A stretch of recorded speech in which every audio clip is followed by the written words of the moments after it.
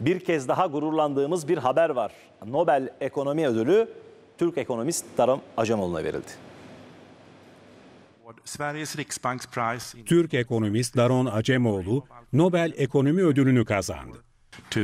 Daron Acemoglu, MIT, Cambridge, USA. İsveç Kraliyet Bilimler Akademisi ödülün 3 isme verildiğini duyurdu.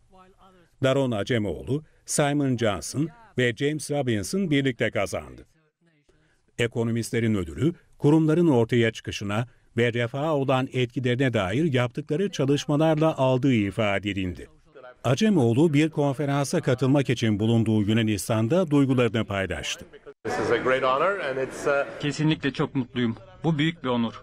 Çalışmalarımın bir kısmı hem uzun vadeli hem de kısa vadeli kurumsal etkilere odaklandı. Nobel Komitesi'nin üzerinde durduğu konuda buydu ve bu beni çok memnun etti.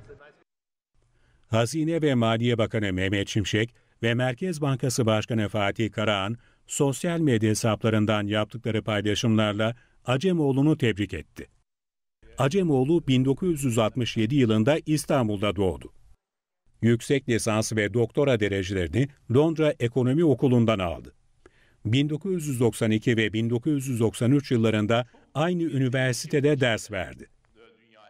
Acemoğlu 1993 yılından beri Amerika Birleşik Devletleri'nde Massachusetts Teknoloji Enstitüsü'nde hocalık yapıyor. Daron Acemoğlu 2019 yılında bir öğretim üyesine verilen en yüksek unvan olan Enstitü Profesörü unvanının sahibi oldu. Acemoğlu Nobel ödülünü kazanan 3. Türk oldu.